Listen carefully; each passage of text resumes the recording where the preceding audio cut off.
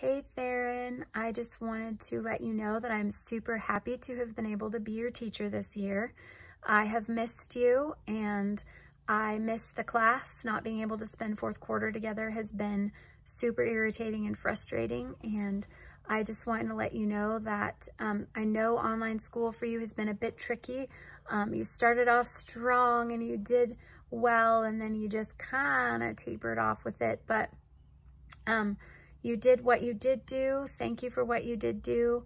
Um, I know it was a struggle sometimes for you to understand maybe what was going on and or what the assignment meant and and things like that. So thank you for asking questions when you needed help.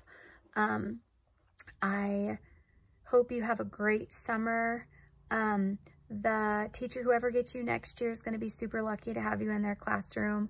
Um, I really do. I really did enjoy having you in my classroom. I will miss your drawings, your crazy, cool drawings that you do, and I will miss your um,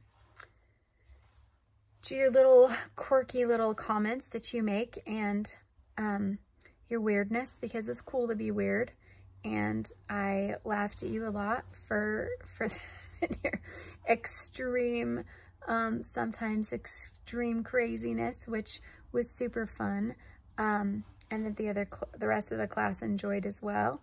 And I just, um, and your random questions, um, that you would ask before thinking about them and then think, it was just, it was funny. So thank you for bringing humor into my classroom and making me laugh daily.